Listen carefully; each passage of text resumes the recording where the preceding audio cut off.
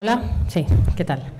Eh, bueno, yo, a mí mis padres me metieron en el deporte, primero empecé jugando al tenis, empecé con siete años, me metieron un poco para que llevara una vida de deportista, de hacer deporte los fines de semana.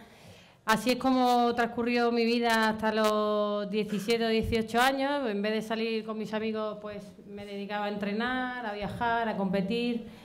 Y en un momento de mi vida decidí que tenía o que dedicarme profesionalmente al tenis o estudiar, porque era incompatible, no podía compaginar. Entonces decidí dejar el tenis y empecé, un amigo de mi hermano me dijo que, que probara a jugar al pádel, que en ese momento, estoy hablando del año 96, tengo 42, pero 42 de verdad. Luego se merece un aplauso, ¿no? Confesiones, confesiones de edad de la mujer. ¿Ha visto? ¿Ha visto? En el año 96, bueno, un amigo de mi hermano me dijo que existía el pádel, que probara, que era muy parecido, parecido al tenis. Entonces, nada, eh, comencé a jugar al, al pádel en, en Málaga con mis hermanas. Y bueno, ya llegó un momento en el que la gente me decía, bueno, tú puedes llegar a ser deportista profesional, a estar entre las primeras de España, tal. Y bueno, decidí dedicarme, me vine a Madrid precisamente con una beca eh, con la Universidad Europea. y bueno, me, eh, bueno, es que... No, que tome, que tome nota, Francisco Victoria, que tome nota. Por si Lo hay que siento, darle lo siento, lo siento. ¿eh? Eh, bueno, estudié CAFIT también, como to- casi todos vosotros. Terminé la carrera, la especialidad en gestión de instalaciones deportivas. Y bueno, me dediqué al pádel, me fui a Castellón, estuve dirigiendo un club a la vez que, que- que competía. Y yo en realidad nunca, nunca pensé en dedicarme profesionalmente, sí que se fue dando, me gustaba mucho el deporte, dedicaba mi vida a ello y bueno, se fue dando y así surgió, básicamente. Bueno, pues vamos con, con Jennifer, porque yo, a ver, eh, por ejemplo, Mireia Belmonte, a la que todos también conocéis, Mireia se dedicó a la natación porque tenía un problema de espalda, le recomendaron la natación para superar ese problema y terminó convirtiéndose en la gran campeona que, es hoy día. ¿Algún problema tú, Jenny? No, no, problema. Bueno, yo, el mío era más grave, creo. Bueno, buenos días a todos. Primero de todo, yo creo que en nombre de las cinco quería agradecer a la Universidad Francisco de Vitoria por habernos invitado y por haber hecho posible que estemos aquí. Es un placer. Y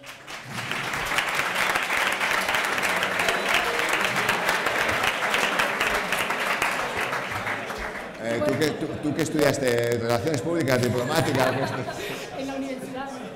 por favor. No, pues yo cuento cómo, cómo empezó todo. En realidad yo, nosotros íbamos al río con mi familia y a mí me llegaba el agua a los tobillos y decía que me ahogaba, pero literalmente, no es broma. Entonces mis padres dijeron, esta niña tiene un problema, habrá que llevarla a natación a que, a que aprenda a nadar. El problema no tenía grave, vamos. Eh, entonces, em, vamos, me llevaron arrastrando el primer día a la piscina, arrastrando que decía que no quería ir a la piscina, que no me gustaba el agua. Me llevaron literalmente arrastrando, de verdad. Y, y ahí empezó todo, vamos, ¿quién lo iba a decir, no? Empecé haciendo natación, hasta los 14 años hice, hice natación, y a los 14 años, siendo campeona de España junior y con un récord de España que suponía que, bueno, pues que prometía, ¿no? Que la natación se me daba bien y demás, decido con toda mi cabezonería, soy Tauro, eh, decido que quiero hacer waterpolo porque mis amigas hacen waterpolo. Entonces, claro, en, en el club nadie lo entendía, en mi casa no lo entendían evidentemente. Eh, de hecho, mi padre, si estuviera aquí diría que no, pero es verdad, me dejó de hablar durante dos semanas porque le dije que me cambiaba a waterpolo. Me dijo, pues yo ya no te llevo más a la piscina. Es verdad que le duró al hombre dos semanas, a las dos semanas he tenido la suerte de tener a la familia que siempre me ha llevado. Y así empezó a waterpolo. Al año siguiente de, de bueno, llevaba un año jugando y me llega la oportunidad de irme al centro de alto rendimiento a San Cugat.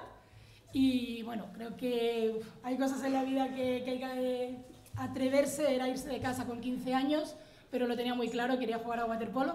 Y ahí es cuando hace un poco el cambio, el chip de esto ya no es un hobby, ya no juego a waterpolo porque me lo paso bien con mis amigas, sino que quiero, vamos, desde bien pequeña había dicho que quería ir a los Juegos Olímpicos y ahora lo que digo es que la realidad ha superado todos los sueños que había tenido porque vamos, no solo fuimos, sino que vino todo lo que vino.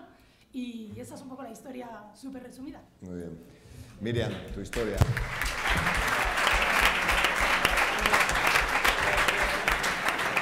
Aunque hemos, hemos conocido... Por favor, silencio. Me, me- siento como... pe- Perdonadme, pero es que como vengo de la clase, tengo que mandar guardar silencio, me sale solo, pero no, no, no quiere decir nada. Eh, Miriam, ya nos has explicado, nos has puesto un poco en situación antes, un poco con, lo- con- con tu problemática, pero ¿por qué te inicias en el boxeo? No, más que iniciarme en el boxeo, yo ya hacía eh, deporte de contacto. Yo antes hacía full contact, ¿vale? Que es otra modalidad con piernas y, y manos. Y empecé ahí, lo único que, bueno, a, a partir de unos 17, 18 años, casi llegando, me partí el aductor.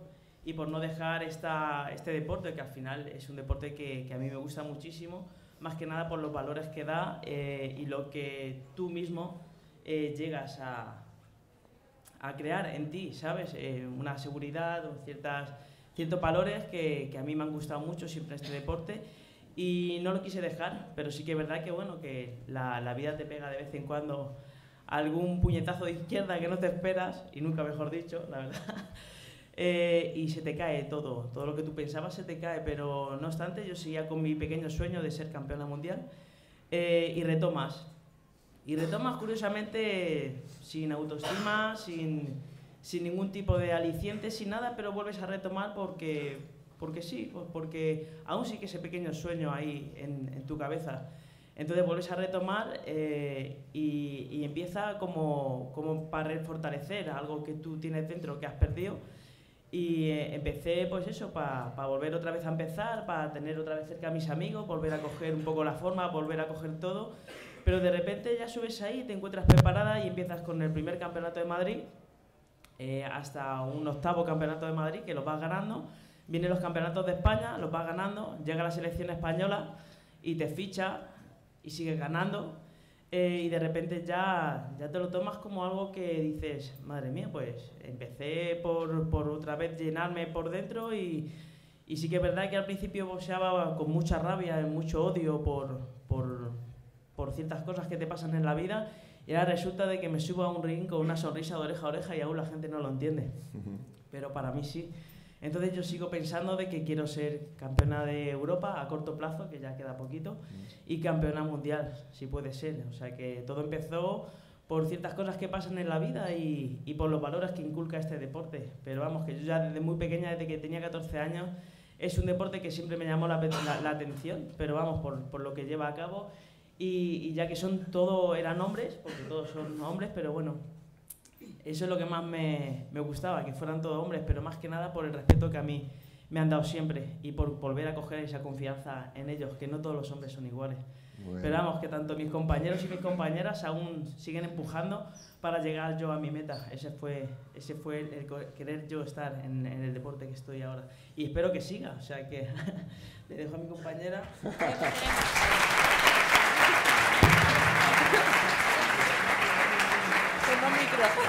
Bueno, Lourdes, Lourdes creo, creo que comparte micro con, con Eva. Dos. Vamos, vamos, a dejar este por aquí para, para Miriam, Jennifer y Carolina y ese lo compartes con, con Eva. Bueno, vale, cuéntanos sí, tu, mejor. tu caso, Lourdes. Mi historia, te... vale. Pues empecé con 3-4 años en ballet porque tenía un problema en los pies, el médico me lo recomendó, tenía los pies planos, así que bueno, empecé en ballet. Y bueno, vi que me, que me aburría, ¿no? Que siempre la misma música, los mismos movimientos y necesitaba pues algo más dinámico. Por lo tanto, empecé como actividad extraescolar con cinco añitos, haciendo gimnasia rítmica. Y de ahí vieron desde el club de Córdoba que tenía potencial.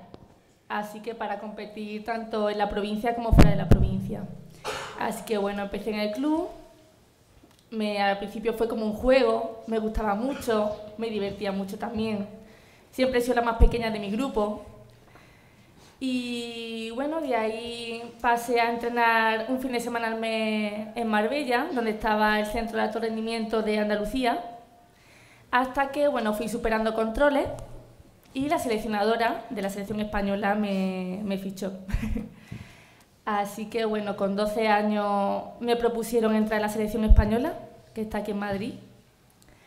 Y desde los 12 años hasta ahora que tengo 22, pues sigo perteneciendo al equipo, sigo disfrutando con la gimnasia. Ahora mismo de otra forma, sí que sigo vinculada, pero no estoy compitiendo.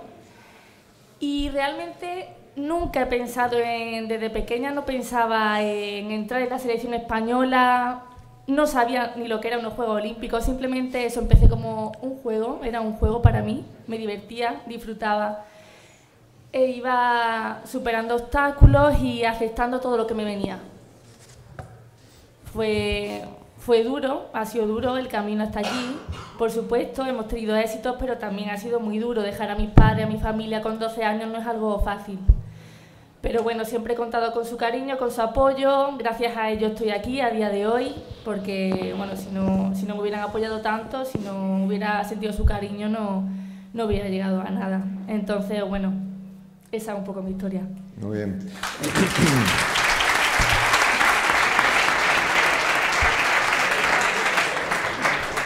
Bueno, Eva, finalmente tú, cuéntanos un poco porque al margen del deporte, como, como Carolina, y no sé si como al resto te ha dado tiempo a, estudiar una carrera, a hacer una carrera. Sí, bueno, es que como yo ha sido como un poco al revés. Yo empecé mi formación antes de, de, de, dedicarme profesionalmente al deporte. Yo siempre he estado vinculada al deporte porque me ha gustado, siempre he hecho muchísimo deporte durante toda mi vida y bueno, yo soy abogada, estudié derecho, ejercía como abogada cuando, cuando ocurrió el accidente y bueno, y practicaba el triatlón un poco como hobby, sí que competía a nivel nacional con mi club y, me encantaba, era una cosa que me encantaba. El día, bueno, como hemos contado, hace cuatro años pues sufrí un accidente y bueno, pues sí que es verdad que, que en el momento que, que, me ocurrió el accidente, obviamente no pensaba en, en lo que ha ocurrido durante todos estos cuatro años.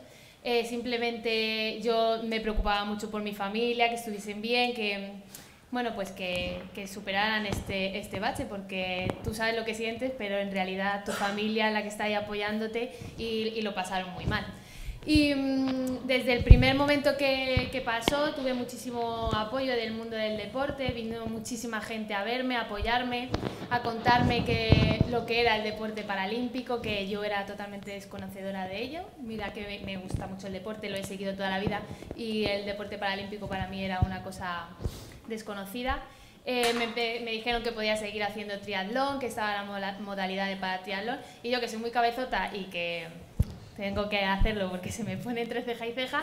Eh, salí del hospital ya con una handbike, que es una bicicleta adaptada, y buscándome la vida pues un poco para conseguir una silla de atletismo. Bueno, no sé, el triatlón es nadar, montar en bici y correr, y yo necesito una bici para eh, adaptada, que lo, la doy así con las manos, que se llama handbike, y una silla de atletismo para hacer la, el, lo que es la carrera, que bueno, es esta, que vamos metidos como de rodillas, que tiene una, una rueda adelante y es una... Que la tengo tatuada. Me la tatué porque la odiaba, ¿eh? Cuando el, primer día que me monté en aquella cosa, yo dije, esto es el carro del infierno, lo llamaba. pero esto que no tiene nada que ver con correr, bueno, era un poquillo, un poquito duro, y la verdad.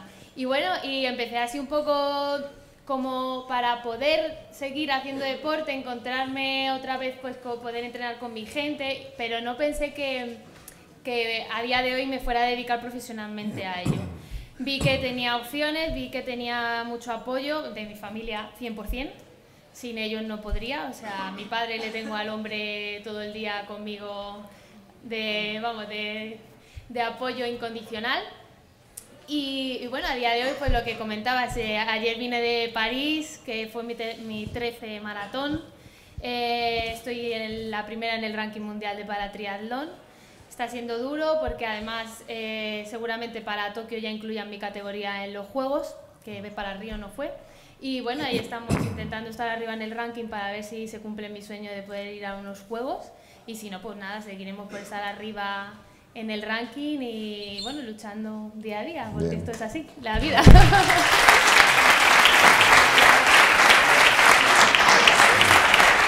Bueno, bueno, ¿qué, qué, más cosas odias, Eva? Porque veo que llevas otro tatuaje aquí. No, bueno, este tatuaje pone... No, este, este, ah, este, este no, este lo amo, es que soy muy, ah, muy animalista. O sea, no, no, quiere decir que odies todo lo que llevas, ¿no?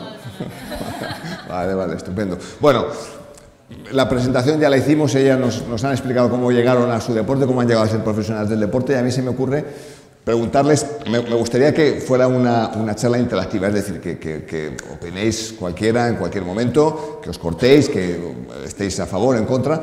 Por el hecho de ser mujeres, ¿habéis encontrado más dificultades para, para realizar la práctica deportiva, para ser profesionales del, del deporte? ¿Habéis buscado comparación con, con, los hombres y habéis visto que habéis tenido más dificultades en practicar vuestro deporte?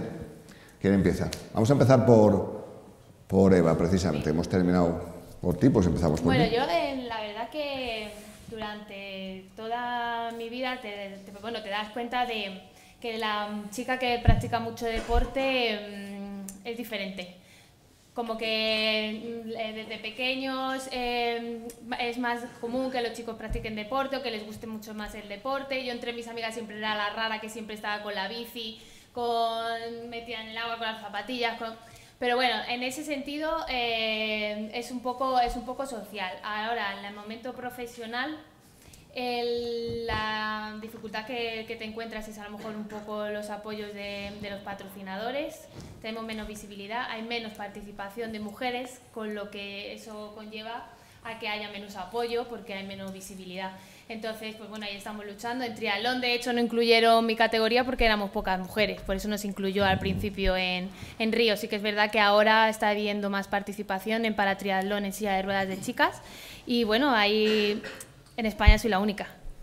Entonces, eh, lo que a mí me gustaría, aparte de, bueno, de cumplir mi sueño, es que vean otras chicas en silla de ruedas, que se puede practicar deporte, que se puede se puede disfrutar de él, porque si ya para una mujer que no tiene ningún tipo de discapacidad eh, muchas veces se encuentran muchas barreras, a lo mejor para las chicas que, pues eso, que tenemos discapacidad, pues incluso ni se lo plantean porque se piensan que no vamos a poder. Y me gustaría, pues eh, con mi experiencia, pues dar el ejemplo de que se animen, aunque sea a nivel Ah, pues a nivel aficionado, porque ya no solo los beneficios que tiene el deporte, que todos lo sabemos, sino que socialmente eh, te integra muchísimo el deporte. Yo pensé que cuando saliese a la calle, después de estar seis meses eh, ingresada en un hospital, eh, me iba, iba a ser la rara, la diferente, la que iba en silla de ruedas. Y a día de hoy, gracias al deporte, cada vez me integro más, me gusta llamar deporte integración, no el deporte para discapacitados.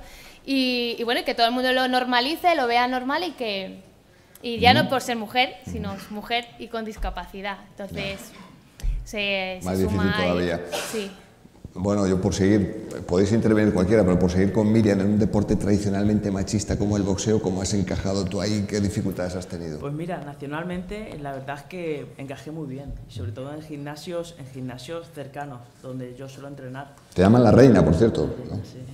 Sí, porque, porque al final es, eh, es, respeto. O sea, yo creo que eso también me lo ha ganado un poco a pulso porque yo siempre he tenido que respetar a todos y a todos y a todas, ¿vale? Cosa que yo también he querido que eso se me haga conmigo. Entonces, sinceramente, en, en, en, en mi gimnasio normal, los gimnasios que yo suelo frecuentar para entrenar, eh, siempre ha habido un grandísimo respeto. De hecho, yo a los hombres con los que yo me he ido topando, que ahora hay hombres y mujeres en, en los gimnasios porque el boxeo está en auge, pero anteriormente no. Yo aquí llevo muchos años. Entonces, sinceramente, los llamo mis caballeros, porque han tenido un respeto conmigo increíble, donde siempre me han ayudado en todo, para todo. Eh, cuando ha hecho falta empujarme, cuando ya te faltan esas tres o cuatro zancadas para llegar a la meta, tan cogido, tan empujado, para que ellos siempre han estado conmigo ahí. Yo no puedo decir eso, pero, pero en, en, nacionalmente entrenando ya deportivamente, ¿vale? Sí que es verdad que las mujeres en este, en este deporte sí que hemos sufrido mucho más. De hecho, yo me quedé por muy poco por llegar a Brasil por el tema de las categorías. Las categorías va por peso. Y tú imagínate en, en las categorías de los hombres está desde 48 kilos hasta peso pesado. En categorías de mujeres, en el tema amateur, ¿vale? había 51, 60 y 75 tres pesos. O sea, fíjate, de tener casi los 12, 15 pesos que tiene el hombre a solo tres pesos en la mujer para poder llegar a, a unas Olimpiadas. Bueno, pues yo también, es verdad que me encabezoné muchísimo, ¿sabes? Entonces, sinceramente, teníamos tres, tres, tres chicas en la cual sabíamos que íbamos a ir y teníamos que coger y lograr esa clasificación para, para Brasil. Yo la verdad es que mi categoría es 64 kilos, me hubiera sido más fácil llegar a 60, pero ahí ya estaba vacante por otra compañera, ¿vale? Que también tiene un mogollón de títulos. Pero, ¿qué pasaba? Que yo me encabezoné y, lo más fácil para mí pues era coger y entrar en ese, en ese tipo de... y volver a luchar con alguna de ellas que ya estuviera, porque al final el sueño de cada uno es coger y, y querer llegar a meta. Y yo tuve que estar de 64, subir a 75, cosa que me faltó una persona en el europeo para clasificar, pero en... perdí, Perdí por, por poco porque ganó la húngara, entonces mm, me quedé sin nada, eh, pero yo seguía encabezonada y el seleccionador me comentó de que había una plaza y yo con la sonrisa, ¿dónde, dónde, cómo, cómo hay que hacer? Me dicen, sí, pero en 60 kilos. Bueno. Pero ¿qué hice yo? ¿Qué hice yo? Pues sinceramente, el sueño de cada persona es el de cada persona. Pues en un mes y una semana, las locuras que comentábamos anteriormente en la mesa, pues sí que es verdad que bajé 15 kilos en, en un mes y una semana. Y Mira, por por aquí la- hay- me preguntan que, que les des el truco, que cómo se hace eso, ¿no? Pues sinceramente, comer mucho, es curioso, ¿eh? Comer mucho eh, e hidratarse muy, muy bien todos los días. Lo único que, claro, no comer lo que cada uno queremos. Es comer lo justo y mucho pescado. Desde entonces no lo como. Eh, pero sí que es verdad de que me faltó nada. Y por la misma impotencia, por esa misma rabia, ¿sabes? Porque al final vas sabiendo de que solo te queda esa oportunidad. Eh, lo que es el deportista de élite, cuando no llegamos a esa meta, sí que es verdad que te llega un, un estado de ánimo, pero bueno, siempre piénsate que siempre hay algo más, siempre va a haber algo más. Nunca no, yo nunca me he quedado quieta, no, no ha podido ser, pero hay, hay que seguir dando pasos. Porque si te quedas quieta, al final te quedas donde estás. Y la verdad es que en ese aspecto sí que es verdad que me dio mucho rabia en, en- en el tema del deporte ya profesional para poder ir a Tokio, el, el que te cerrara las puertas porque solo hay tres categorías en mujeres y todas en, en hombres. Bueno, pero para. Tokio estás, estás preparándote ahí para, Para Tokio para estoy, pero el peso es que, sea, pero vas a ir Ya, pero es complicado ahora porque yo ya estoy en el ámbito profesional, no estoy en el amateur. Es verdad que ahora se han, se han fusionado, pero yo no sé si a lo mejor darán... vol- Volvemos al tema de la mujer. En el hombre está, el hombre Hombre, puede claro. llegar, pero la mujer aún no ha dado, no han dado eh, que digan, ahora sí la mujer puede, aunque sea profesional, puede llegar a, a meterse en el, en el ámbito amateur, pero en, en la competición para poder llegar a clasificar. Todavía quedan cosas y no queda tanto tiempo. Hombre, Porque para, hazme caso que tienes que estar muy preparada. Ya, ya, sí. Bueno, bien. Bien, pero lo importante es que se reconozca ese derecho a que estéis en los, en Hombre, los Juegos Olímpicos, porque para que Ahora estéis los, los profesionales, Ahora- fíjate ahora- si están... No, si la cuestión es que ahora que yo ya me he ido, Sí. ahora han metido dos categorías más. Vaya por Dios. Y ahí no llego. Bueno. Pero bueno, no pasa nada. Bueno. Bueno, chicas, de- decidme, eh, comentar vosotras... eh, A ver, yo, yo siguiendo un poco en la línea de categorías que hablábamos, o sea, la desigualdad en el deporte femenino existe. O sea, en waterpolo, por ejemplo, nosotras eh, nos clasificamos en Londres por primera vez en la historia, pero en el preolímpico del 2004 y en el preolímpico del 2008 nos quedamos fuera por un gol. Pero ¿cuál es la diferencia? ¿Por qué hay desigualdad? Los, chicos clasifican 12 equipos y las chicas 8.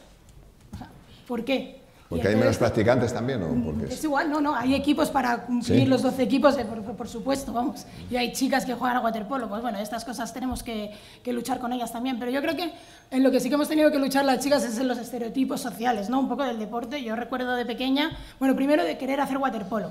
Oh, no, no, el waterpolo es masculino. No, el waterpolo también lo practican chicas, el waterpolo no es masculino. ¿Cuál era la...? pues yo creo que algo sí ha cambiado, que es que en aquel momento los referentes eran masculinos, o sea, todo el mundo conocía a Estiarte, la selección del 92, del 96, etc. Yo creo que el deporte femenino ha cambiado algo. Ahora hay referentes femeninas, ¿no? Lo que decía un poco Eva, se necesitan referentes para que haya más practicantes, para que haya más deportistas. Entonces, eso ha cambiado. Ahora mismo las, niñas de waterpolo pueden querer, que- querer ser como cualquiera de, la selección.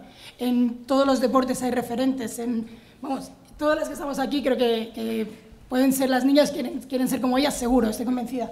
Entonces yo creo que eso ha ido cambiando y luego hemos luchado también eso con estereotipos. A mí de pequeña me decían es que tienes mucho brazo, es que tienes mucha espalda, es que pareces un chico. Bueno, vale, pues es, es lo que hay que, ya, ya, es que esto es mi deporte, es que tengo que estar así. Eh, era mi sueño, lo tenía muy claro, pero es verdad que tienes que, que luchar contra estas cosas.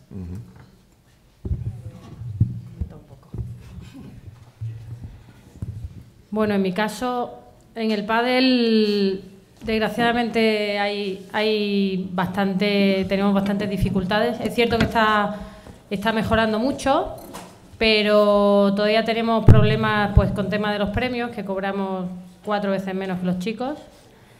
Eh, con tema de pistas, por ejemplo, para jugar en la pista central tienes que estar prácticamente tienes que llegar a semifinales. Los chicos juegan todos los partidos en la pista central. Eh, el tema de los horarios, que nos suelen poner los peores horarios, a las 9 de la mañana un domingo, mm, en, horas que no son centrales. Luego el tema de la participación de la mujer, sí que hay, hay, hay menos jugadoras. Eh, ¿Por qué hay menos jugadoras? Pues porque no nos podemos dedicar profesionalmente eh, precisamente por el tema de los premios, los patrocinadores eh, pagan menos precisamente porque no juegas a lo mejor en pista central, se te ve menos en medios. Entonces yo creo que un poco el pez que se muerde la cola. Eh, todo esto hace que, que, la, mujer, al ser menos vista y al, y al cobrar menos, pues que no se pueda dedicar. Eh, de hecho, yo diría que dedicarse profesionalmente al pádel pueden haber tres parejas, cuatro nada más porque luego el resto tienen todas que trabajar y que tienen, tienen, por ejemplo, muchas dan clases, se están dirigiendo clubes y claro, tienen que competir de martes a domingo. ¿Cómo dejas tu trabajo? Es muy complicado. Entonces sí que es cierto que tenemos muchas dificultades. Nosotros pagamos lo mismo a los entrenadores, nos cuestan lo mismo los viajes. Ahora, por ejemplo, en el, en el Campeonato de España eh, a los chicos le pagan más en dietas que a las chicas o más por, por desplazamiento cuando pagamos lo mismo. O sea que hay bastante desigualdad. En el padre es cierto que está mejorando poquito a poco y cada año está mejorando mucho, pero bueno, todavía esa desigualdad desgraciadamente existe. Lourdes.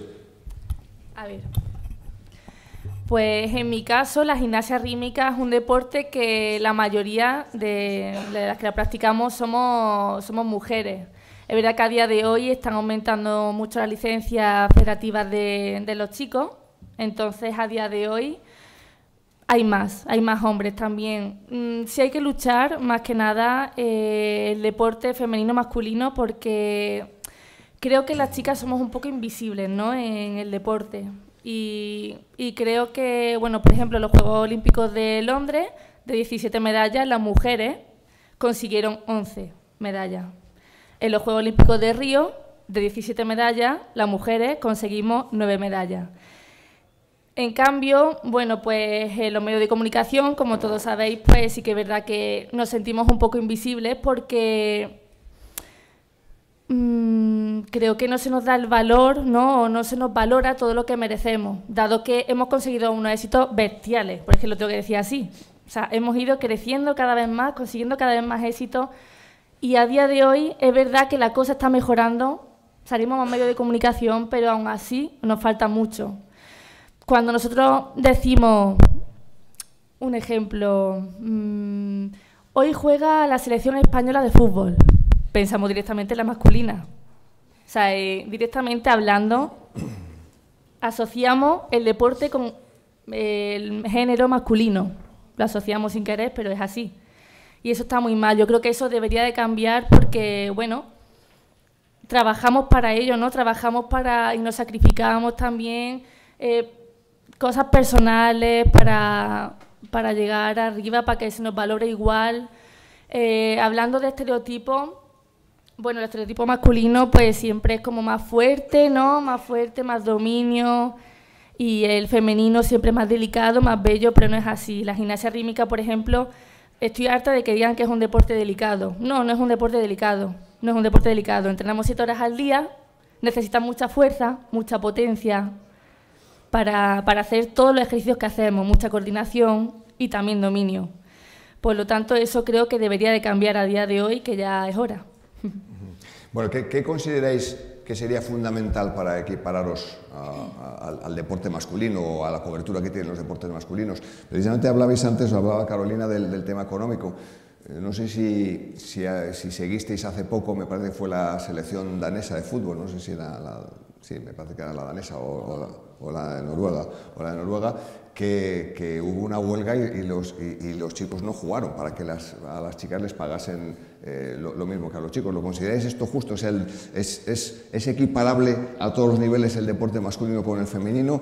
Por ejemplo, vosotras, vosotras seríais capaces o habéis vivido profesionalmente del deporte o vivís profesionalmente del deporte. Me refiero económicamente, como pueden vivir muchos, muchos deportistas. ¿Vosotras eh, ¿Podéis vivir económicamente del deporte, Carolina? Bueno, yo personalmente eh, me incluyo entre esas, gracias a Dios, entre esas dos o tres parejas que, podemos vivir del deporte. Puedo vivir, si yo por ejemplo me retirara este año, tendría dinero entre comillas para vivir un año más, pero luego ya tengo que, evidentemente buscarme un trabajo y, o sea, que no es como el tenis o, u otros deportes. Así que ahora mismo me puedo dedicar profesionalmente eh, este año y si me retirara tendría que, pues hay que, ir haciendo buscarme, hay que ir haciendo mucha y ir pensando en qué trabajar, que evidentemente, aunque ganara dinero para estar luego sin trabajaría igual porque porque hay que hacer cosas, está claro.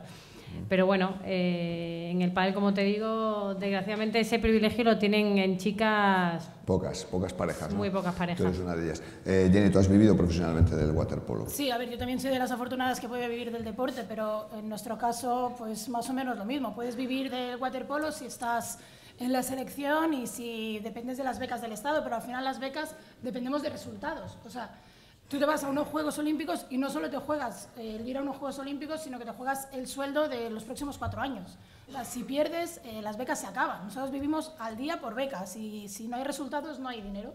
Claro, es que a veces la presión ya no es solo que te la juegas en un partido, sino que te estás jugando el poderte, poder seguir dedicándote a esto o no. Entonces yo creo que eso es, vamos, o sea, es una de las cosas que debería de cambiar. Como decía Carolina, yo empecé a trabajar, el día que dejé el waterpolo, el día siguiente empecé a trabajar, porque que necesitaba trabajar, evidentemente, porque nosotros nos ganamos la vida para vivirla, o sea, ya está, no, no nos va a retirar esto. Y luego, hablando de lo que decías de un poco qué soluciones tenemos a esto, yo creo que hay que generar fans eh, del deporte femenino, que esto genere visibilidad, o sea, los medios de comunicación darnos visibilidad y si hay visibilidad, lo hemos hablado también, habrá más patrocinadores, habrá más marcas, habrá más ayudas y esto para mí creo que es imprescindible para darle una vuelta más a, a colocar el deporte femenino donde se merece, básicamente. ¿Qué, qué, os parece que el, que el, fútbol femenino esté, esté subiendo tanto y que ahora podamos asistir a encuentros de fútbol eh, de determinados partidos tipo Atlético Madrid, Barcelona, eh, etcétera, etcétera, que, que, que llenan 35.000 espectadores o tal? Bueno, no son los 80.000 o 90.000 de un, de, un partido, de un partido masculino, pero, pero eso está subiendo, está, está cogiendo auge el fútbol femenino. un partido masculino del Barça, el Atleti y el Madrid, o sea, ya está. Es que no, los otros, a veces, el Wanda el otro día se abrió y fueron 22.000 personas al Wanda, en femenino. Eh, creo que si lo pones, la gente lo ve. Yo ahora mismo estoy, estoy trabajando en Iberdrola y estoy un poco con eso, con la visibilidad del deporte femenino. Nuestro gran objetivo es darle visibilidad. Estamos ayudando a 15 federaciones pero el gran objetivo es la visibilidad y creo que el fútbol femenino, el gran empuje ha sido que ahora tiene más visibilidad y la gente lo sigue más, evidentemente. Liga Iberdrola, ¿no? Liga Iberdrola. bueno, eh, Miriam, ¿tú, tú, es, ¿tú, vives profesionalmente del, boxeo o no? No, no, no se puede. La verdad es que, bueno, en este deporte, pero ni tanto en masculino ni en femenino. O sea, ya te hablo... Eh, globalmente, ¿vale? Yo aún sigo trabajando, ¿vale? Sí que es verdad que tenemos que tener sponsor y que, como bien dice ella, lo que tenemos que hacer es coger, tener, tener eh, llegar a, a ser primeras para que te den unas becas. O sea, tú tienes que, pero claro, no es una beca que te diga te va a durar para toda la vida y poder dedicarme a mi deporte hasta que yo me quiera retirar, ¿no? Resultados, tienes becas. No hay resultados, te dan un, un tiempo circunstancial donde ahí vas a tener un dinero donde te puedes coger y amoldar y guardar pero ya está, pero, tienes que subsistir. Pero en el deporte masculino pasa lo mismo, ¿no? Quiero decir, menos el fútbol, que, son, que es la excepción que confirma eh, también en el resto de deportes olímpicos, por así decirlo, con B casado, etcétera, etcétera, tienes que ganar también. No, no, todo, todo es. Si tú tienes eh, podium, tienes, tienes. Si no tienes podium, a seguir luchando. Pero claro, tú luchas. Si es una persona sola y a lo mejor eres muy joven, ¿vale? Digo, pero yo tengo tengo hipoteca, tengo familia, tengo dos niños, tengo mil cosas donde no solo te vale con que yo me levante por la mañana si quieras ser deportista. ¿Sabes? Ahí tienes que tener sponsors. Yo tengo la suerte de que SACIR me está apoyando a muerte. Y Iberdrola ahora se está metiendo con, con varias federaciones donde también han metido al boxeo.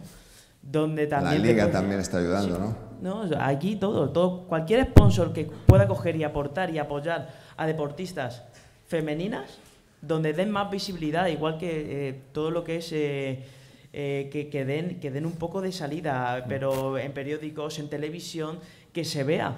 Pero si no, la gente no lo sigue. Lo sigue la gente que, que a lo mejor nosotros, los seguidores que podamos o, lleguemos a tener, te siguen porque te, te, conocen, porque te apoyan. Pero lo quiere saber mucha gente. Si la gente no lo sabe, ahora mismo la mayoría de la gente que hay aquí viendo, si yo ahora mismo digo, oye chicos, que peleo este sábado, a lo mejor tienen esa curiosidad y vienen a verme todos. ¿Me entiendes? Pero si ellos no lo saben y no se ven. ¿Cuándo peleas? ¿Cuándo peleas? Ya, el día 2, pero en, La Coruña. Ah, te van a ir a ver todos, para Galicia, todos para Galicia. No, mira, yo encantada, mira, que se vengan todos.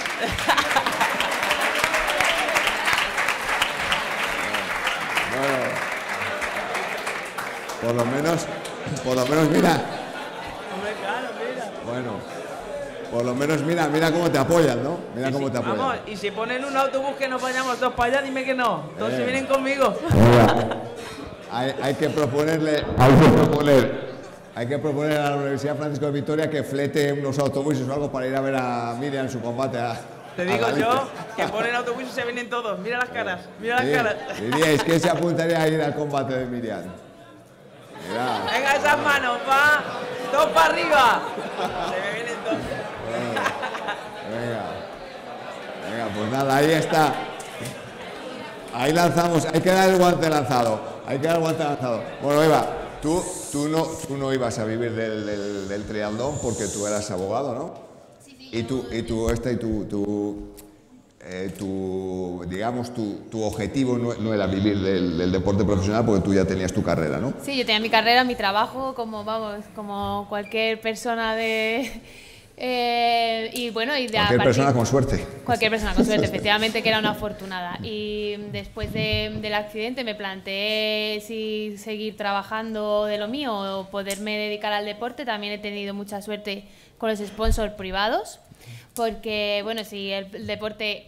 eh, el deporte tiene pocas ayudas, el deporte femenino menos, el deporte eh, eh, paralímpico menos aún. Entonces las becas son menores, las oportunidades son menores y sí que es verdad que yo gracias a los sponsors privados. También es verdad que yo empiezo las temporadas haciendo las maratones internacionales porque ahí es donde intento ganar dinero para luego poderme costear los viajes para el triatlón porque en el triatlón no ni siquiera tenemos premios económicos haciendo podium y en los y en los maratones pues bueno la- los premios económicos de las mujeres son inferiores al de los hombres pero bueno, ahí estamos luchando para ir cogiendo y haciendo hucha para por lo menos que no me cueste dinero hacer y practicar mi, mi pasión, poder vivir, entre comillas, de- del deporte. Sí que es verdad que creo que también se debería de fomentar, tanto en el deporte femenino como en el masculino, que los deportistas a la vez que están haciendo deporte se formen porque cuando terminan su carrera deportiva, que suele ser corta al final. Luego se encuentran, son como muñecos rotos, ¿no? Se encuentran en un mundo laboral en el que ya entran tarde, no, no, no lo conocen, tienen que formarse y eso se debería de tener en cuenta. Yo creo que de hecho el comité, el comité olímpico está ahora muy centrado en eso también, viendo los problemas que ha, que se ha- que ha causado en deportistas de alto nivel y deportistas que han representado a España y que han sido, han sido grandes. Entonces, bueno, pues nada, las empresas tienen que, tienen que ayudar, las empresas que quieran trasladar los valores que, que- que conlleva el deporte. Sí que es verdad que ahora eh, está muy en auge lo de las charlas para los valores en las, de- en las empresas. Y bueno, pues eso, eso está muy bien. Y la visibilidad, claro. Si es que la gente, porque existe Javier Gómez, no ya saben lo que es el triatlón.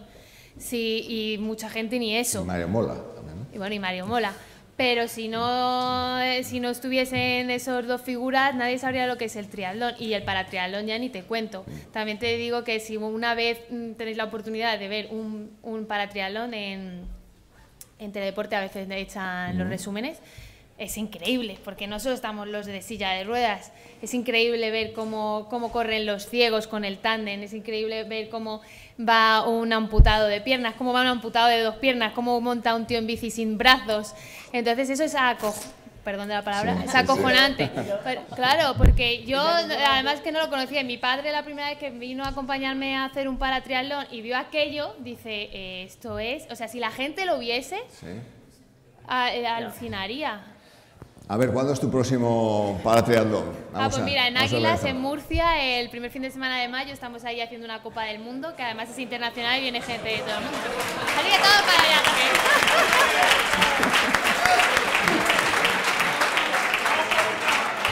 Bueno, chicos, ya sabéis, tenemos viajes, viajes programados, tenemos Galicia, tenemos Águilas en Eh, Murcia. espera, espera, espera. ¿Y yo? En Zaragoza, Bueno, pero está ti, más cerca. a- a ti es más fácil verte, a ti es más fácil verte porque juegas más torneos. ¿Tú cuándo? La verdad, la verdad. A ver, ¿cuándo en próximo? Zaragoza en dos semanitas, está más cerca. Zaragoza, dos semanas. en a el ver, AVE se tarda poco. Lourdes, tú. ¿Tú qué? ¿Tú cuándo, cuando hay, cuando hay alguna competición que te podamos ver?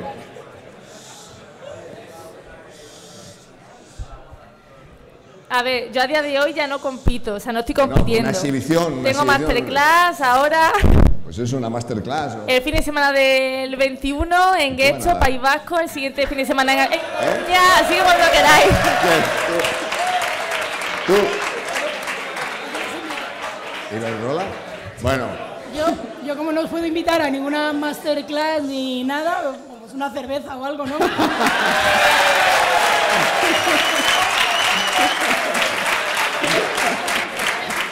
El vídeo, el vídeo cortar esto, por favor. bueno. Bueno, yo que. A ver, a ver, Lourdes, cuéntanos. A ver, ¿qué falto yo? Jesús, que me ha saltado dos veces. me ha saltado dos veces. ya, ya, Te ya. dedicas No, no, profesionalmente, hablo. pero una exhibición, una masterclass. ¿Dónde es tu masterclass? No, no, la masterclass ya lo he dicho, no, iba a decir lo de, bueno, que, que la gimnasia, la gimnasia, de la gimnasia no se puede vivir. Bueno, o sea, no se a puede ver, tú tenías becasado, tú sí que tenías becasados por medallas olímpicas. Sí, tenía becado, tenía becado que por ser, es una beca especial, no es ni, ni de conjunto, ni de grupo, ni de individual, es una beca que está ahí en medio.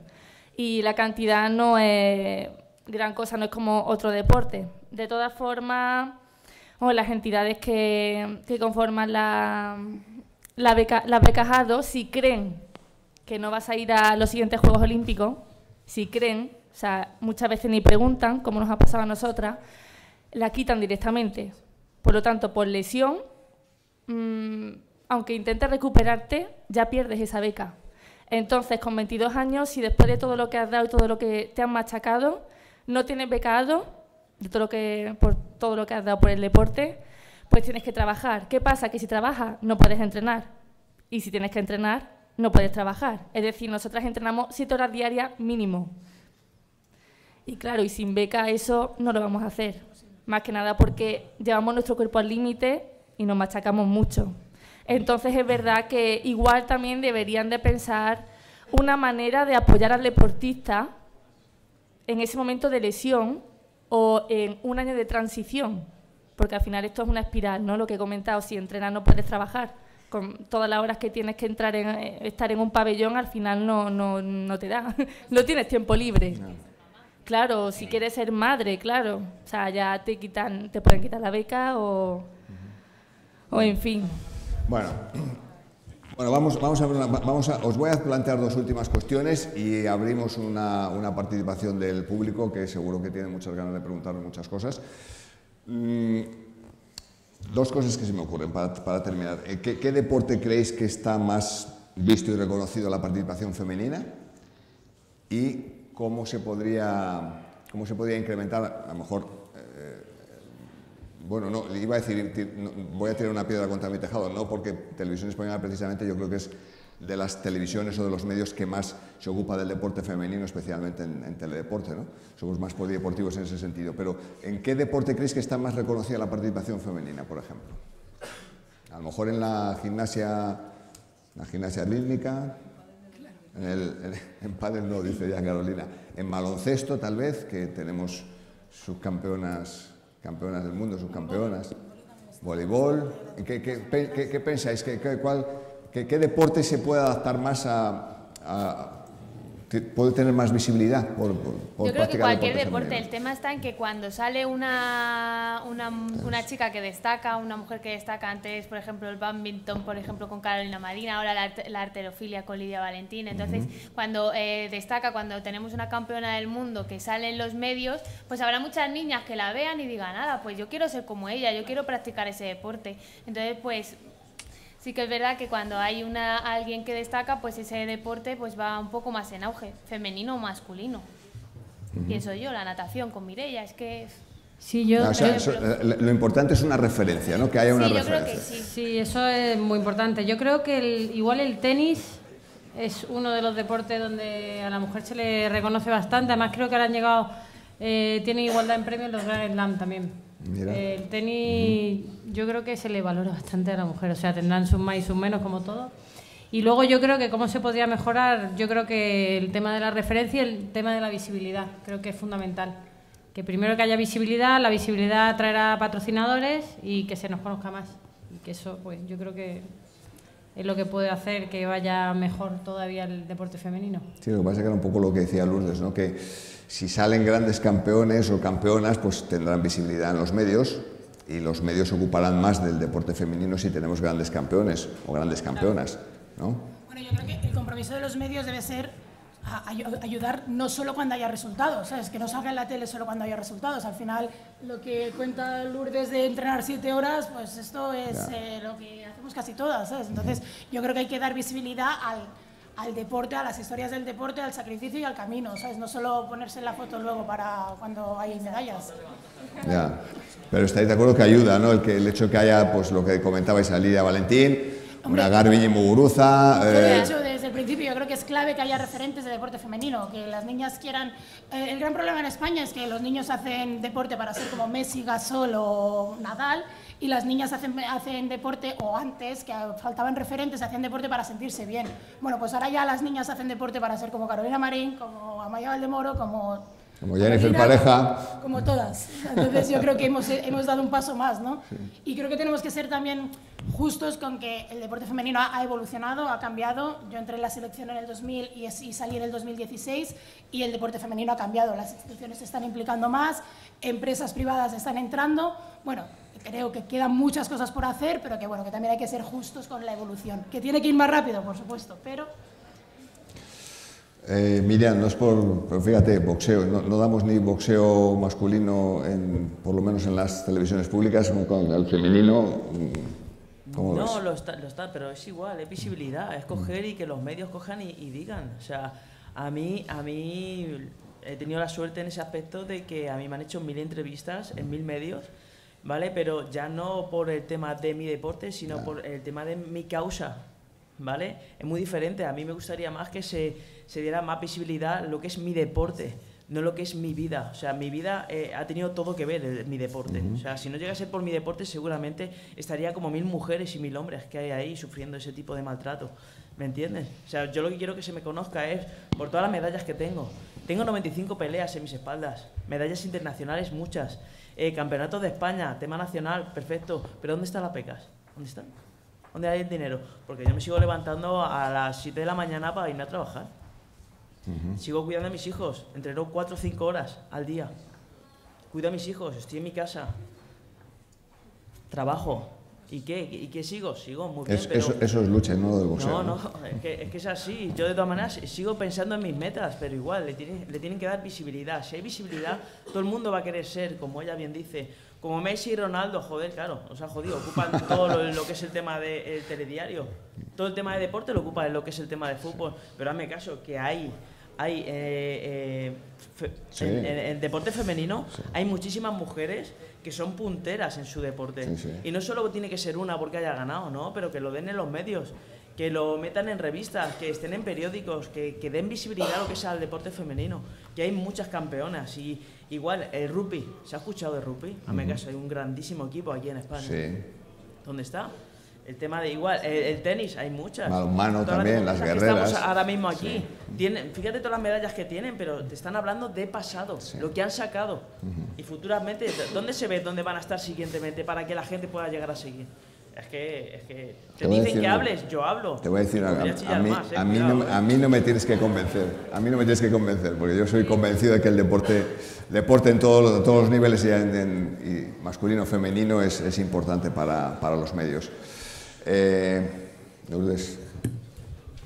no, nada. Eh, en nuestro caso, para salir dos minutos y medio en la televisión, tuvimos que ser bicampeona del mundo. O sea, bicampeona del mundo para tener dos minutos y medio de televisión. Y aún así, televisaron el europeo y justo dio la casualidad que cuando salía a España pusieron los anuncios. No sería televisión española que no tiene anuncios.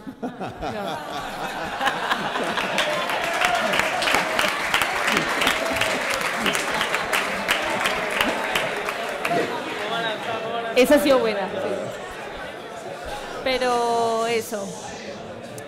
Tienes que tener muchos resultados para tener unos minutitos de televisión o de, o de periódico.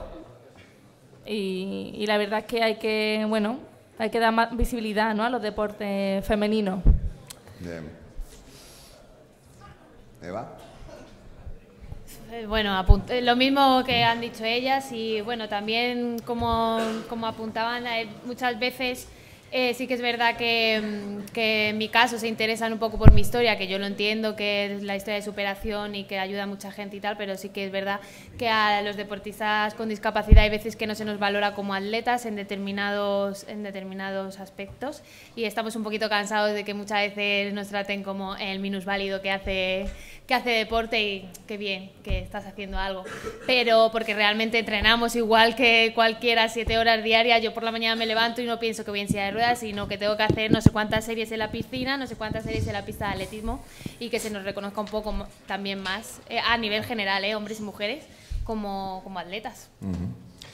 Bueno, yo creo que llegado a este punto, mm, podemos hablar de muchas cosas, pero yo creo que es- está quedando un poco claro eh, las dificultades que se han encontrado, luchadoras natas, la visibilidad que necesita el deporte para que lleguen patrocinadores, para que se equiparen, equiparen económicamente con el deporte masculino, pero yo me imagino que hay muchas cosas, muchos detalles que queréis conocer de ellas. Y aquí tenemos un micrófono y se abre ahora un turno de, de preguntas. Vamos a media horita de preguntas si, si nos da. Eh, pues, empieza por donde quieras. Hola, buenas. ¿Qué tal? Eh, eh, No estuvimos si en se- clase... ¿Se oye? ¿Se oye bien? ¿Se oye? ¿No? ¿No?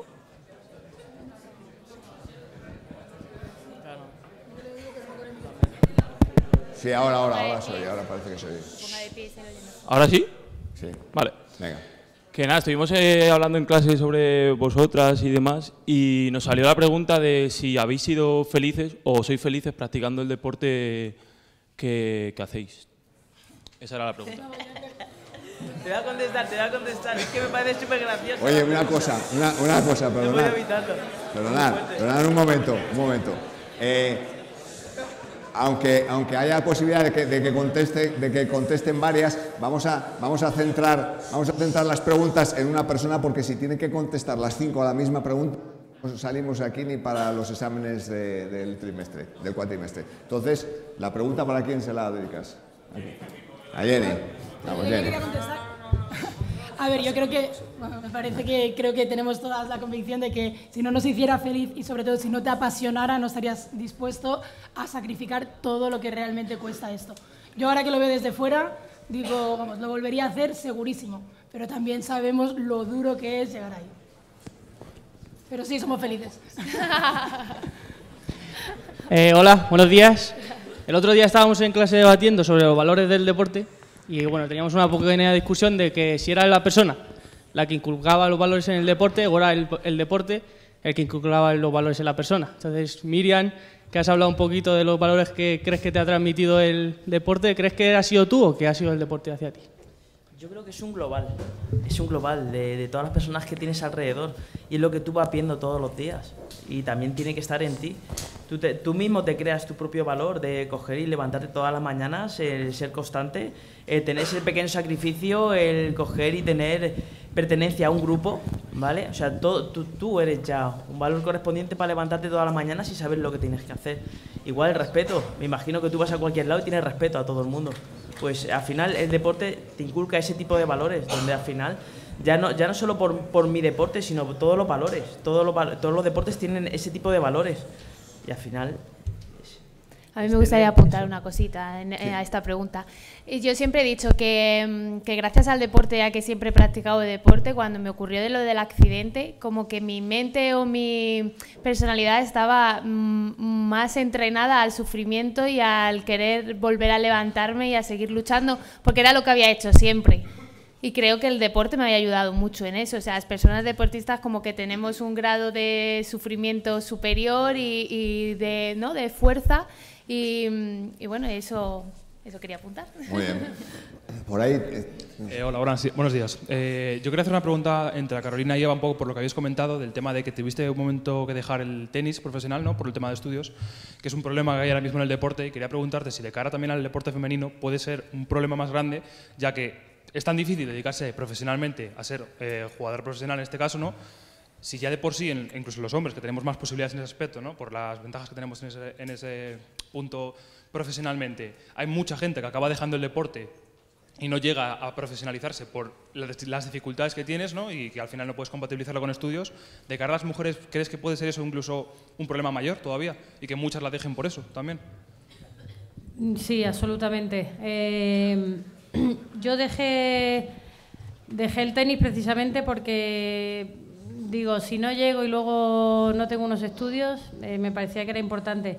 Entonces, bueno, empecé con el pádel y al poder compaginar sí que, bueno, tuve la suerte de, de, poder entrenar bien y poder llegar a ser número uno y poder dedicarme al deporte. Pero evidentemente hay muchísimas, muchísimas, muchísimas mujeres que, que a mitad de camino lo dejan y que no, evidentemente no se sabe, pero muchísimas. Porque dedicarse es muy difícil en cualquier deporte, diría yo, tanto en el pádel como en cualquier otro deporte.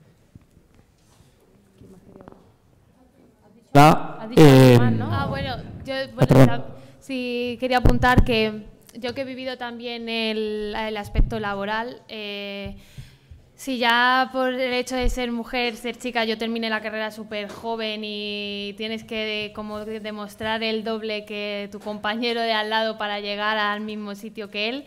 Eh, únelo eso también al deporte y a pues eso lo que hablábamos, que la mujer también se tiene que plantear en un momento si quiere tener familia, cómo lo va a compaginar, el aspecto laboral, aspecto deportivo. Entonces, como que ahí sí que yo veo un poco más de dificultad para nosotras, que siempre tenemos que estar como demostrando el doble que un chico en las mismas condiciones, en el aspecto laboral que yo lo he vivido antes del deportivo. Hola, os agradezco a todos por esta jornada que tiene como nombre Deporte para el Cambio. Y yo creo que no podemos irnos de aquí, todos, nosotros también, sin que haya un cambio o un intento de cambio en nuestras vidas. Entonces, quiero lanzar a, a Eva del Moral, que, un pajarito nos ha soplado, que, aunque es abogada, le gustaría algún día hacer café. Quiero lanzarle un, un reto ¿vale? En forma de reto, aunque en realidad es una invitación para todos, nos encantaría y haríamos todo lo posible para, para ayudarte no solo económicamente, que por supuesto, que fueras futura alumna nuestra de CAFIT. Bueno, pues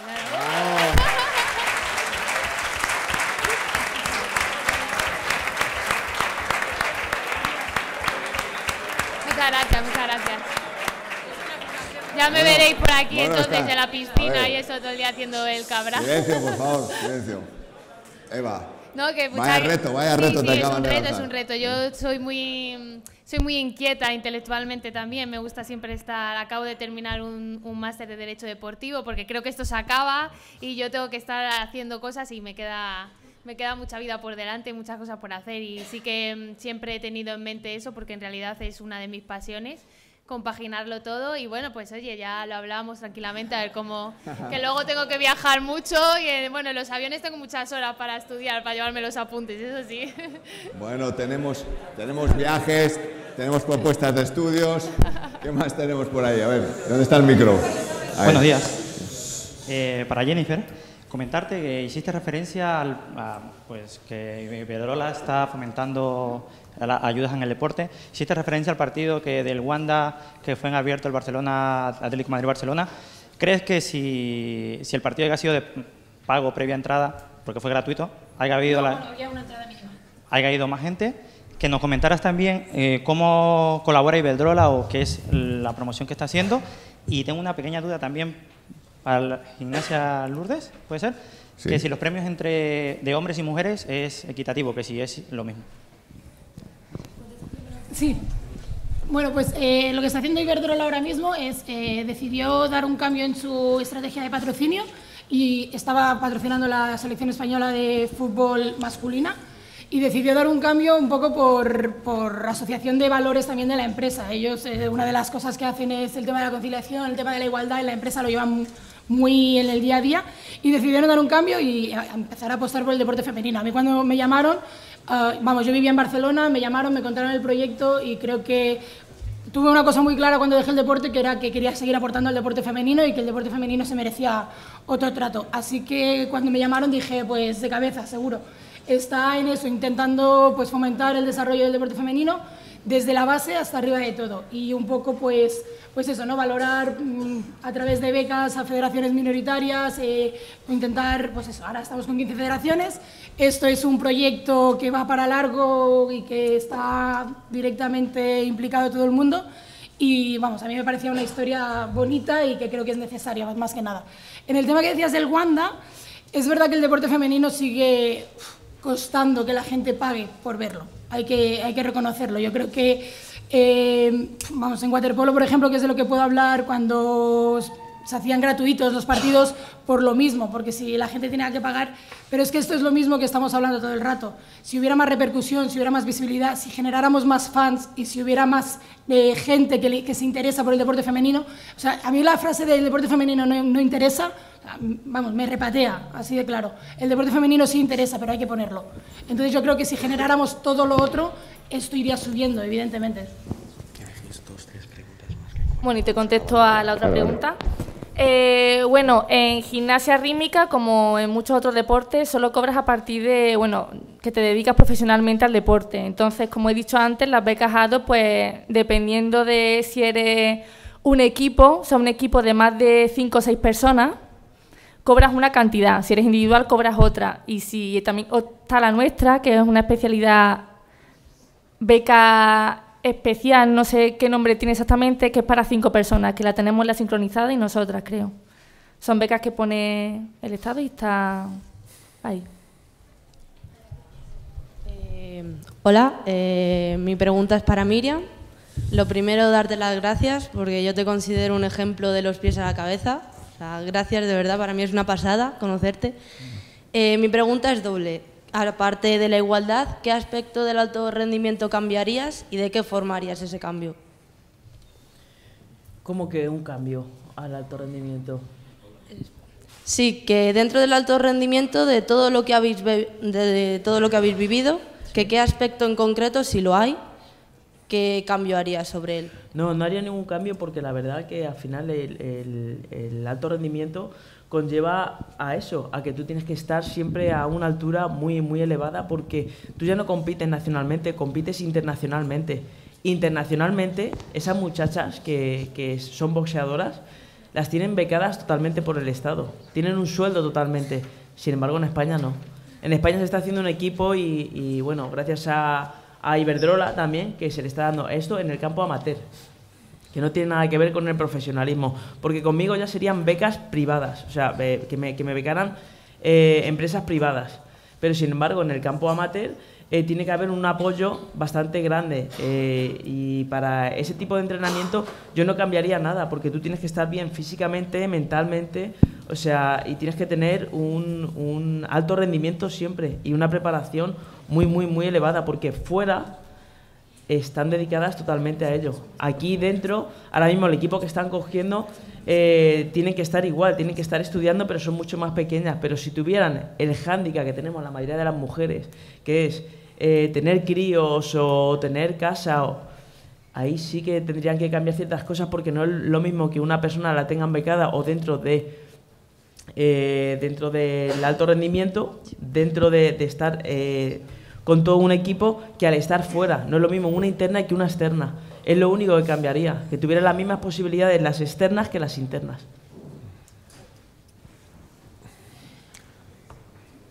Ah. Hola. Eh, bueno, lo primero, dar gracias a la Francisco de Vitoria por dejaros venir aquí. Para mí es un honor y un orgullo poder decir que os he conocido. Y bueno, ahora mi pregunta de es gimnasta es gimnasta. Em, ¿Es posible que te podamos ver en poco tiempo o el tiempo que sea como desde otro punto del tapiz, como puede ser entrenadora? Bueno, a día de hoy no estoy compitiendo, sigo entrenando por mi cuenta para mantener la forma y estoy dando masterclass por diferentes sitios de España, ciudades, pueblos, sí que me estoy formando como, eso me estoy formando de entrenadora, juez, por lo tanto, ¿quién sabe? No se sabe lo que puede pasar. De momento me estoy formando. Ya veremos si, sale bien, si, hombre, vinculada al deporte voy a seguir estando, la gimnasia también, porque es un deporte que me ha apasionado desde pequeña, que me encanta y que me siento feliz haciéndolo desde otro punto. Y bueno, igual sí. De todas formas, bueno, actualmente estoy estudiando arte dramático, interpretación, así que, bueno, no se sabe lo que va a pasar. Hay que formarse en todo ahora. Vamos con las, con las tres últimas preguntas, por favor. Hola, buenas. Hasta le vamos a dar. Eh, primero agradecerles a ustedes y a la Francisco Victoria por venir y por aportar. Y me gustaría hacer una pregunta, sobre todo a Miriam, debido a tu cargo en la Liga Iberdrola. Eh, no, a Jennifer, perdón. Eh, vista la tendencia de promoción de la prensa generalista como medios de comunicación, de televisión y periódicos, ¿no deberían las atletas centrarse en, otras, en otros medios de promoción como redes sociales y más viendo la tendencia que tenemos los jóvenes a vernos influenciados por ellas? A ver, yo creo que eso ya se está haciendo, ¿no? Yo creo que muchos deportistas están intentando potenciar su marca personal a través de redes sociales, porque al final, como dice Miriam, ella el próximo campeonato lo acaba de decir, pero nadie lo sabía. Entonces, ella es la encargada también de promocionarse a sí misma y a sus campeonatos. Eh, yo creo que todos los deportistas somos conscientes de que hay que hacer esto, de que hay que promocionarse a través de redes sociales, que encima es el día a día. Pero también es verdad que no podemos renunciar a luchar por lo otro, porque el espacio en los medios no lo merecemos también. Entonces yo creo que puedes hacer las dos cosas, luchar por ese espacio en los medios y que salga por el deporte, que es lo que hablamos, que no salga por otras cosas, que el deporte femenino muchas veces sale por otras cosas, y, el, tema personal, de marca personal y de tu día a día, evidentemente creo que eso está, lo tiene todo el mundo muy interiorizado de... yo creo que las sigo a casi todas en Twitter y demás y intentas promocionar como sea el deporte. Buenas, mi pregunta va dirigida a las que todavía no habéis sido madre. ¿Qué pensáis que no se ayude en esa etapa eh, con una ayuda económica?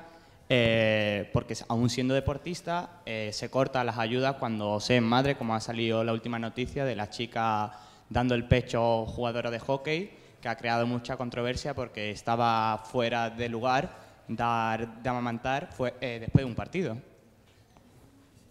Bueno, yo creo que habrá igualdad cuando eso deje de ser noticia, ¿no? Porque una madre pues tiene que dar de, comer a su hijo. El tema de, la maternidad es difícil en el ámbito deportivo y en el ámbito profesional porque no, se apoya, no se, da, no se dan ayudas y pues es igual que te lo tienes que plantear de... Bueno, es que las, las deportistas... Eh, plantean su maternidad como plantean su temporada y luego las cosas, la naturaleza no es tan mecánica y matemática como queremos nosotras. Sí que es difícil, es difícil. Ahí, no sé, eso ya creo que va en cada una y en, su, en sus objetivos de vida y en su planificación. Y sus, mm. pero sí, claro que es más difícil, ¿no? Yo sí. Eh, mm, justo esto lo estuve hablando yo la semana pasada con, con otra chica y la verdad que, claro, nosotros somos deportistas profesionales. Eh, si yo me quisiera quedar embarazada, me tengo que retirar, porque perdería todas las ayudas de mis patrocinadores. Eh, si fuera que trabajo en algo que no sea deporte, podría trabajar a lo mejor hasta dos semanas antes. Entonces creo que hay un vacío ahí en el que estamos un poco desprotegidas y evidentemente se necesitaría una solución que yo realmente no sé cuál es porque no lo sé pero que tuviéramos algún tipo de ayuda por si nos quisiéramos quedar embarazadas, que evidentemente sería pues entre que estás embarazada que no puedes competir, más el tiempo que por lo menos un año, un año y pico hasta que retomen la competición. Entonces, ver de qué manera y cómo se nos podría ayudar para, para tener ese, ese lapsus de tiempo para dar cubierto o retirarte. Desgraciadamente, yo creo que la mayoría de, de las deportistas profesionales que quieren ser madres la mayoría se retiran y si no se retiran están un año y medio sabático, sin cobrar y, cuidando pues de, tener al hijo. Eh, lo primero de todo, eh, gracias chicas por y estar con nosotros. Eh, mi pregunta va para Lourdes. Me consta que dentro del equipazo de rítmica las chicas también estudian a la vez, compaginan Creo que si no me equivoco, Alejandra Quereda también estudia medicina. Ponte el micro cerca. Otras chicas estudian CAFI también. Eh, ¿Cómo es posible entrenar siete horas al día y, a la vez compaginar una carrera eso como medicina o CAFI o lo que sea?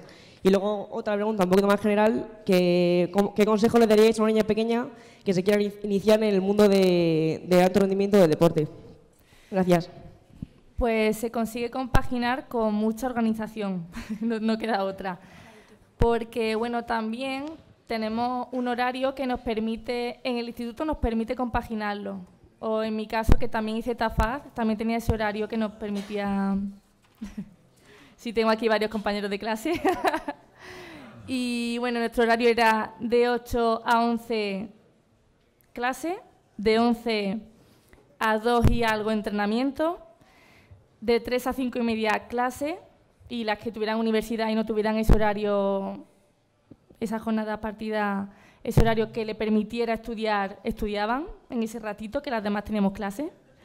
Y de cinco y media a nueve y algo entrenamiento, que al final siempre era diez menos algo, depende del trabajo como saliera. Entonces, bueno, llegabas a la residencia a las diez y pico de la noche y tenías que ponerte a estudiar como, como fuera, como una loca.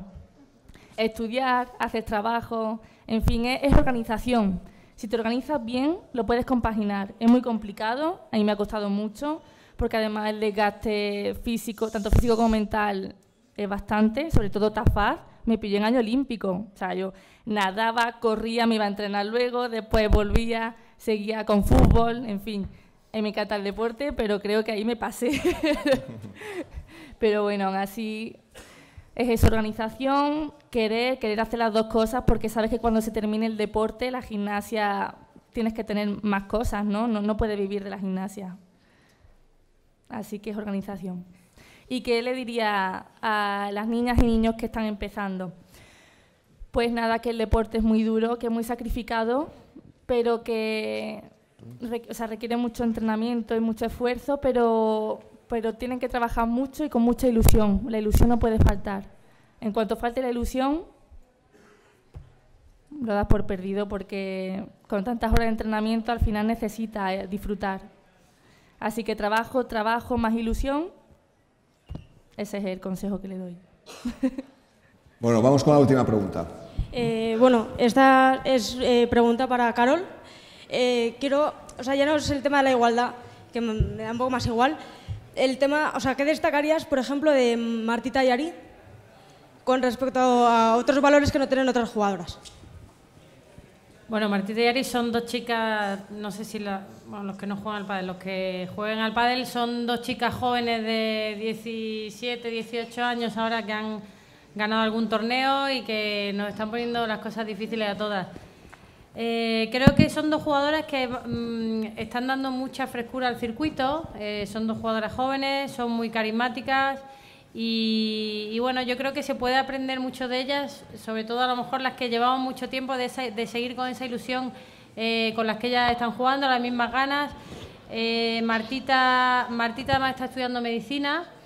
que hay que estudiar medicina y compaginarlo con el deporte, lo mismo que decía em, entonces, al final es organización, tiene que estar eh, muy organizada para poder compaginar las dos cosas, eh, esfuerzo, sacrificio y sobre todo esa ilusión que tiene por, intentar ser la número uno, que, yo creo que, que, lo tiene en la cabeza desde que tenía 13 añitos. Así que nada, yo creo que cualquier deportista tiene que aprender de ellas también. Bueno, pues yo creo que aquí Aquí ponemos punto y seguido, no sé qué otras actividades hay en esta Semana del Deporte para el Cambio, pero yo creo que, que como muestra sobre el deporte femenino, sobre cómo está la comparación con el masculino, sobre, bueno, sobre las vidas, obra y milagros que hay detrás de cada gran deportista, y aquí tenemos evidentemente a cinco grandes deportistas, pues eh, yo creo que, que, para empezar nos vale. Yo siempre me considero a mí cuando me preguntan qué destacaría de mi profesión, pues haber tenido el privilegio de hacer lo que me gusta en primer lugar y después de haber podido eh, recorrer el mundo siguiendo a los, a los grandes deportistas españoles y haber tenido la satisfacción de contar los, los grandes triunfos y los grandes logros de todos, de todos ellos. Aparte de eso, lo decía al principio, me considero un privilegiado por estar hoy aquí y haber tenido la oportunidad de partir esta mesa redonda con estas excelentes deportistas, con Carolina, con Jennifer, con Miriam, con Lourdes y con Eva, para las que pido un enorme aplauso. Muchas gracias.